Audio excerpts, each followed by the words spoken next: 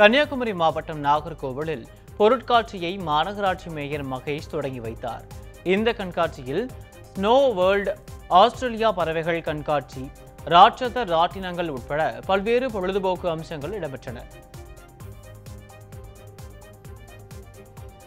புனித ரமலானையொட்டி விழுப்புரம் மாவட்டம் செஞ்சி வாரசந்தையில் ஐந்து கோடி ரூபாய்க்கும் அதிகமாக ஆடுகள் விற்பனையானதால் வியாபாரிகளும் கால்நடை வளர்ப்போரும் மகிழ்ச்சி அடைந்தனர் பல்வேறு பகுதிகளில் கொண்டுவரப்பட்ட ஆடுகள் நான்காயிரம் முதல் பதினைந்தாயிரம் ரூபாய் வரை விற்பனையாகின.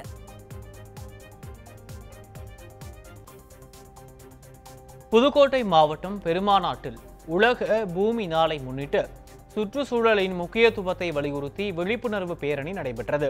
இதில் பள்ளி மாணவ மாணவியர்கள் பதாகைகளை ஏந்தி ஆட்சியர் அலுவலகத்தில் இருந்து புதிய பேருந்து நிலையம் வரை பேரணியாக சென்றனர்.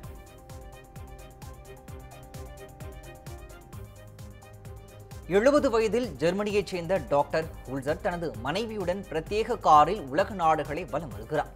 இந்நிலையில் தஞ்சை பெரிய கோயிலை பார்த்து வியந்த தம்பதி பெரிய கோயில் பிரமிப்பாக உள்ளதாகவும் கலை நிகழ்ச்சிகளை கண்டு கழித்ததாகவும் தெரிவித்தனர்.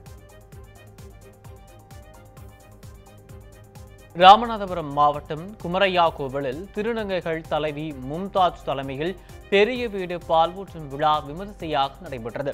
அப்போது திருநங்கையாக மாறிய மூன்று பெண்களுக்கு நடைபெற்ற சடங்கு வைபவத்தில் திருநங்கைகள் பணமழையை அள்ளி குவித்தது ஆச்சரியத்தில் ஆழ்த்தியது. எட்டு மணி நேர வேலையை பன்னிரண்டு மணி நேரமாக உயர்த்தும் சட்டத்தை திரும்ப பெற வலியுறுத்தி திருப்பூரில் ஏஐடியூசி தொழிற்சங்கத்தினர் ஆர்ப்பாட்டத்தில் ஈடுபட்டனர். சட்டப்பேரவையில் பட்ஜெட் மானிய கோரிக்கை விவாதத்தில் எட்டு மணி நேர வேலை பன்னிரண்டு மணி நேரமாக உயர்த்தும் சட்ட திருத்தம் மேற்கொள்ளப்பட்டது குறிப்பிடத்தக்கது.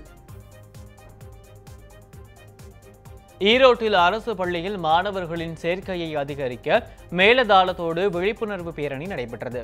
மாநகராட்சி நடுநிலைப்பள்ளி தலைமை ஆசிரியர் அருணா தேவி தலைமையில் பேரணியாக சென்ற மாணவர்கள் மற்றும் ஆசிரியர்கள் துண்டு அறிக்கைகளை பொதுமக்களுக்கு வழங்கினர்.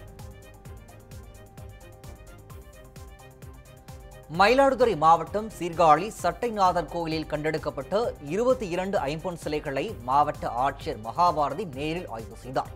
அப்போது சிலைகள் குறித்த ஆய்வறிக்கை அரசிதழில் வெளியிடப்பட்ட பின்னரே அடுத்த கட்ட நடவடிக்கை குறித்து தெரியவரும் என்று ஆட்சியர் தெரிவித்தார்.